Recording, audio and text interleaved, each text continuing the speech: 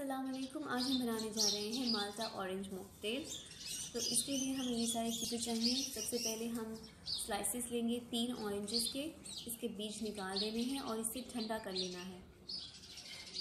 इसके बाद हमें चाहिए अदरक और पुदीने के पत्ते। ज़ीरा पाउडर, काला नमक और शक्कर।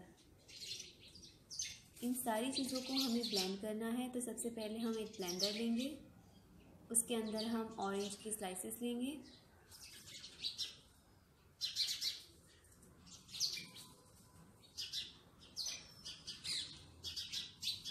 अब हम पुदीने के पत्ते और अदरक भी डाल देंगे। और बाकी बचे हुए सारे स्पाइसेस भी डाल देंगे। और इन सारी चीज़ों को हम अच्छे से ब्लेंड कर लेंगे।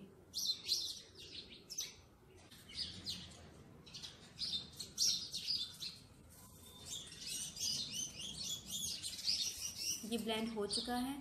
अब इसे हम स्ट्रेनर की मदद से छान लेंगे अच्छे से।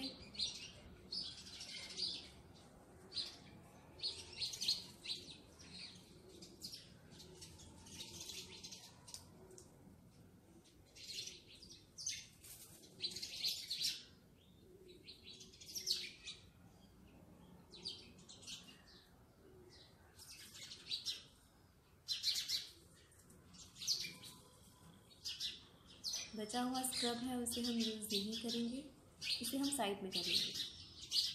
अब ये सर्व करने के लिए रेडी है, एक ठंडा ग्लास लेंगे और इसके अंदर मक्के डाल देंगे।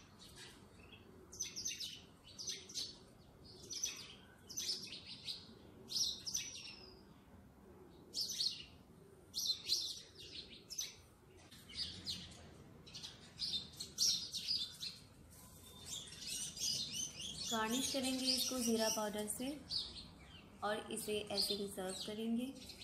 रेडी है हमारा मज़ेदार सा मोकटेल ट्राई कीजिए मेरी रेसिपीज़ और सब्सक्राइब करिए मेरे चैनल को। जजाक